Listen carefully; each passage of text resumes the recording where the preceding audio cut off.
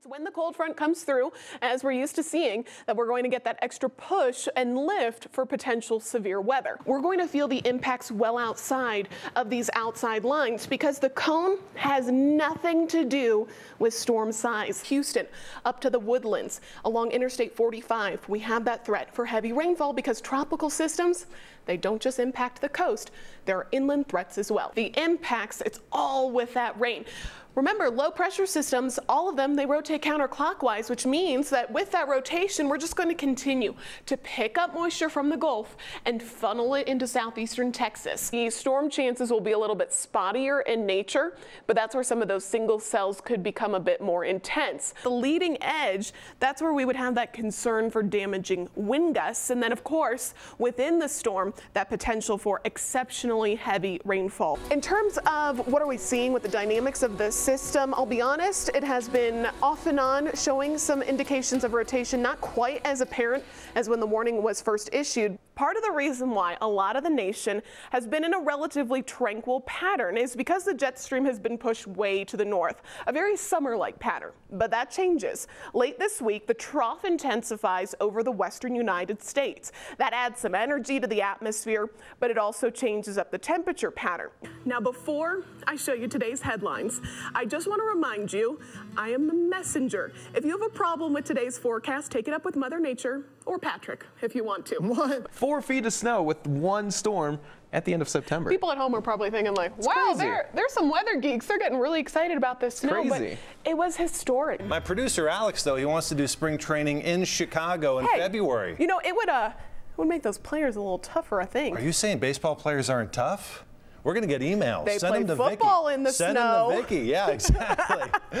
Oh, A bit man. more snow Has before anyone the ever week's are told you that you should go into sales? Gosh, you you sold that Duluth camera like none other. Yeah, I mean, hey, you know what? Next time, uh, next time it's warm there in Duluth, uh, I will make it up to the Chamber of Commerce there, and we'll talk about that. But Okay, I'll um, see you in June. Yeah, we'll see you in June there in, in Duluth, exactly. We're gonna do round two coming up later this week. I was going to say, this really isn't even the main event. We're going to see a more potent system arriving by Thursday and Friday. So you heard what Joe said, folks. This is just the appetizer. Now we're really taking aim for portions of Georgia and both South and North Carolina. Yeah, because with every passing hour, the system's just going to shift further to the north. So if you're joining us from the Carolinas or even Virginia, any final preparations need to be rushed to completion because as we look ahead to your Thursday and then into the end of the week and this upcoming weekend, that's where we're going to see the closest impacts or the majority of the impacts associated with Dorian, anywhere from South Carolina further to the north. And you'll notice that the watches and warnings continue to expand up the eastern shores of the United States. Now we have that hurricane warning extend all the way to the North Carolina Virginia border in anticipation of hurricane force conditions arriving within the next 36 hours. So again, every county further north you head, you have a couple extra moments to do your final preparations. And I just want to emphasize that this storm should not be taken lightly because we are not ruling out landfall into one or both of the Carolinas as we go throughout the next couple of days. In addition to just the sheer winds that we're going to deal with, we've also got to be concerned, of course, with that storm surge. As Greg mentioned, winds are now moving offshore in Florida. That's going to push the water out. But as the system tracks to the north, we're going to be seeing that perpendicular approach to many of the coastlines of the Carolinas.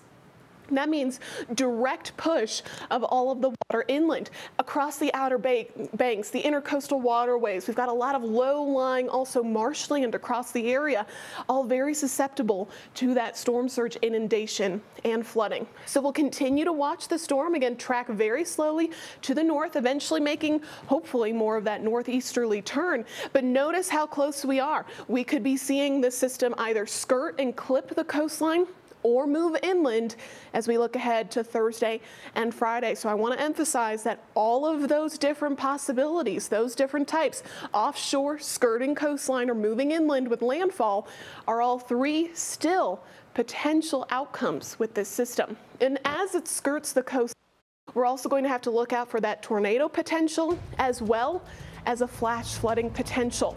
This will also be a large story for folks on the coast as well as inland, where we could be easily seeing a half a foot of rain or more through the end of the work week, which could lead to significant flash flooding concerns. More Hurricane Dorian coverage coming up here at Weather Nation.